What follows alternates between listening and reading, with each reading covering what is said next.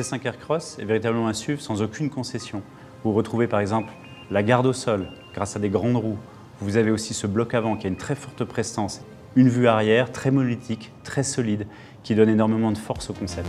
Sur le style extérieur de ces 5 Aircross, vous retrouvez aussi tous les marqueurs qu'on utilise dans notre design. Euh, ce sont des éléments graphiques forts comme le montant à noir, comme la signature aussi en élévation avec le C chromé, les protections latérales en bas de porte ou la face avant à double étage, des jeux graphiques très forts et aussi évidemment ce langage formel très lisse, très pur, dénué de toute agressivité.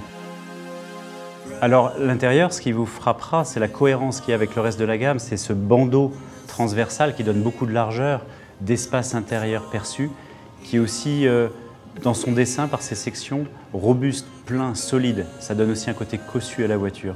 Et puis il y a des interventions graphiques très fortes, par exemple sur les aérateurs, qui leur donnent beaucoup de caractère. C5 Aircross, c'est un peu comme un rêve pour nos designers puisqu'on a démarré le style de cette voiture à travers le concept car Aircross euh, que nous avions dévoilé à Shanghai en 2015. Euh, il y a eu un tel engouement de la presse autour de ce véhicule qu'on s'est dit ben, finalement on, le tient, il n'y a plus qu'à le faire.